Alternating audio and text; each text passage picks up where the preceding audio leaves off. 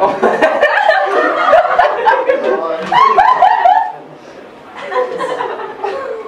everyone.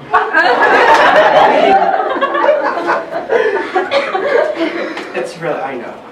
Uh, hi, everybody.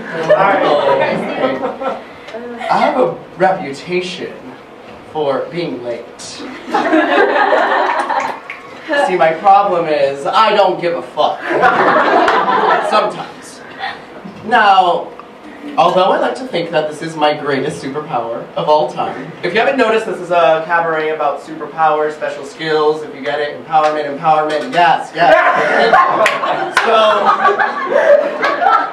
although I like to think this is my greatest superpower of all time, life has taught me otherwise. Simply not giving a fuck just adds to all the problems you never really gave a fuck about. And before you know it, you've got a huge pile of problems on your back trying to fuck you from behind. No, thank you, I'm a virgin.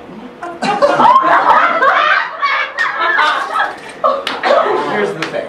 Growing up was a completely different story. I used my superpower ability to its fullest. Some of you might know that I'm from LA, and none of that Hollywood bullshit. I'm talking about East LA, like the hood, you know, Mexicans. Everywhere. you get it. Stool? Nope. Thank you, Owen Robbins. Usually not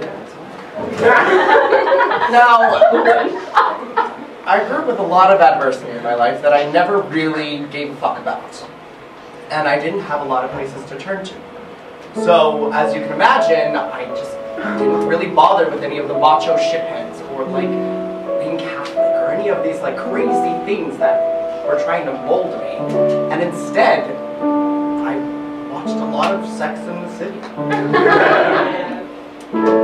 On nights like this, when the world's a bit amiss And the lights go down across the ratchet hood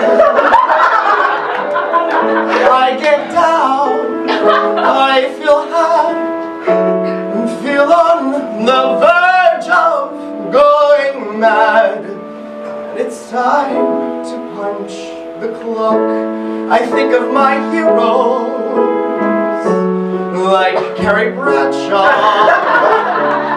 Big city girl doing what she wants. Suddenly I'm determined to be just like her Living in New York and having lots of sex I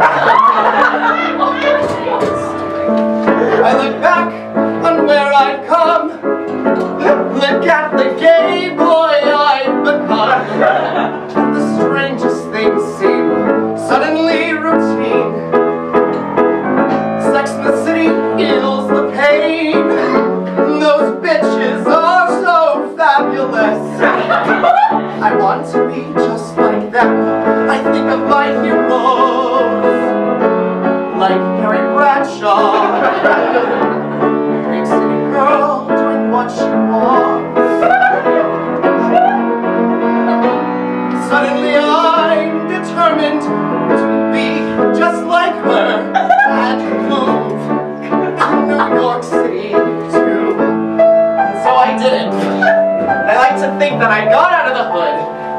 because I never gave a fuck.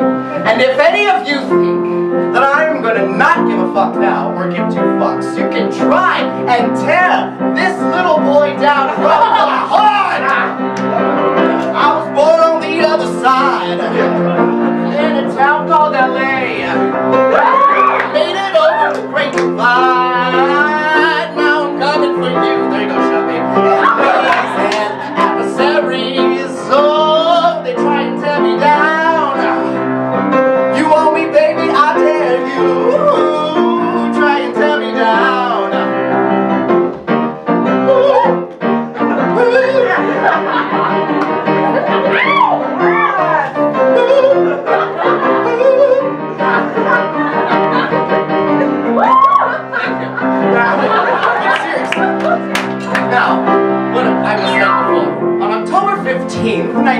1891, a gay and fabulously flamboyant but awkward gay boy was born. yes, me.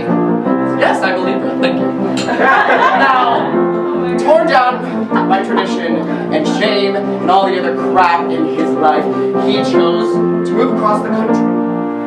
And he landed in a strange city. That was not New York, but instead Philadelphia. Welcome. life, in his life, this boy chose not to give a fuck. And if you think you can tear this boy down, you must remember one thing.